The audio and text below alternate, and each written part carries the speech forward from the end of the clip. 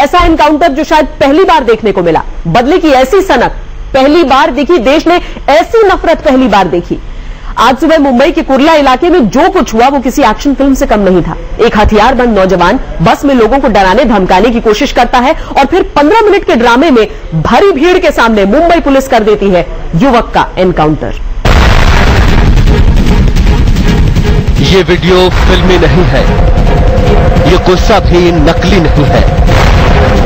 ये तमंचा भी कोई खिलौना नहीं है। इस तस्वीर में हर चीज़ असली है। जी हाँ, ये एक शख्स के दुस्साहस का असली वीडियो है।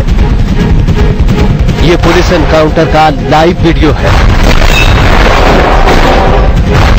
पंद्रह मिनट का सनसनीखेज एनकाउंटर।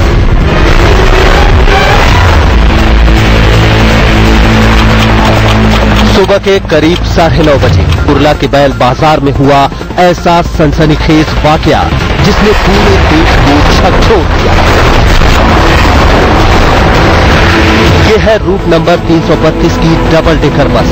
बस अंधेरी से सुबह करीब साढ़े आठ बजे कुरला के लिए खुली थी।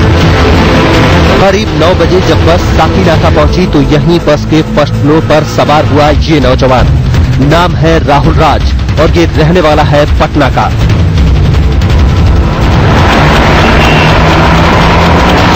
करीब नौ बजकर दस मिनट।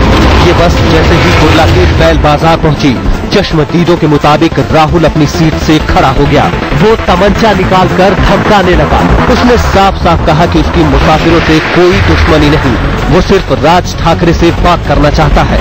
वो बार बार कंडक्टर से मोबाइल मांग रहा था।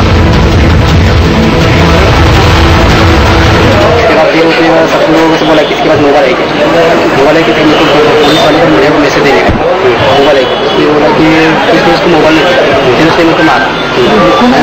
तेरे पास मोबाइल है क्या? बोला, नहीं। मालूम था कि तेरे पास मोबाइल क्यों नहीं? मौकाए वारदात से पुलिस चौकी महज 50 मीटर दूर है। जब ये ड्रामा चल रहा था, तभी बस के ड्राइवर ने दी पुलिस को इतला नौ बजकर सत्ताईस मिनट पर पुलिस थी बस नंबर 332 के पास। पुलिस के पहुँचते ही राहुल ने बस के बाहर दो पर्चियाँ फेंकी। राहुल ने दस रुपए के नोट पर लिखा था, मुझे राज ठाकरे को मारना है। और दूसरी पर्ची पर लिखा कि मुझे मीडिया और पुलिस कमिश्नर से बात करनी है। पुलिस का दावा है कि जब वो वहाँ पहुँची तो बस के भीतर फायरिंग की आवाज़ आई। राहुल ने खिड़की से ज़मीन की तरफ़ फायरिंग की। ये दिखाने के लिए कि उसके पास असली हथियार है। राहुल की फायरिंग पर पुलिस ने हवा में दो फायर किए। जवाबी फायरिंग से राहुल घबरा गया। घबराहट में उसने भी हवा में दो राउंड गोलियाँ चलाई। पुलिस का दावा है कि इसी फायरिंग में एक शख्स हुआ जख्मी। राहुल की घबराहट की कहानी ये तस्वीरें भी बयां कर रही है। देखिए इन तस्वीरों में, वो बस में इधर से उधर भाग रहा है। वो डर कर बस की खिड़कियाँ बंद कर रहा है। वो रह रहकर खिड़की से हथियार निकालकर गोली मारने की धमकी दे रहा है। चश्मदीदों के मुताबिक, वो बार बार यही कहता रहा, राज ठाकरे से बात कराओ। और इसके बाद वो डर कर बस की ऊपरी मंजिल पर भी पहुँच गया। इस बीच पुलिस ड्राइविंग सीट की तरफ़ से छिपते छिपाते पिछले दरवाजे से अंदर घुसी और राहुल पर फायरिंग शुरू कर दी।